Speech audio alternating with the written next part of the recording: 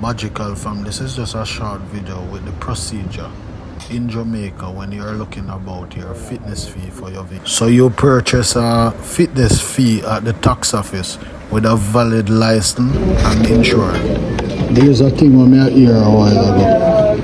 Uh, I'm a virgin of mine where police take off in license plate because I'm tired.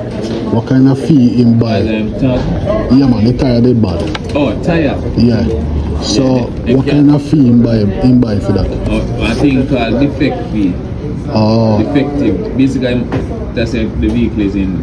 It's a defective vehicle. so him have to go him have to go depot with it after? Yeah, man, a different type of depot. That Oh okay. Mm. Okay. So which part of the depot there? then? depends on the parish where them where them Oh okay. fee.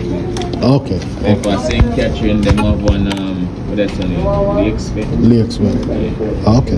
Alright. Respect. It's a four thousand five. Yeah, man.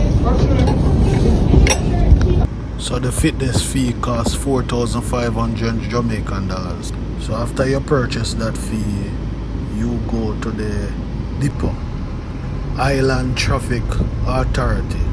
So I'm gonna visit the one in Swallowfield, Kingston. So as you hear the conversation before, yeah, I was asking a question about driving a defective vehicle on the road and stop by the police.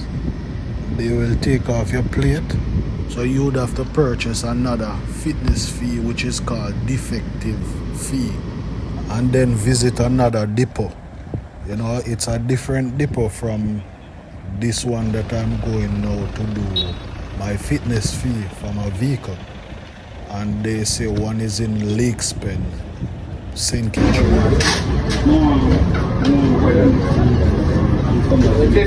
Nine t-shirt.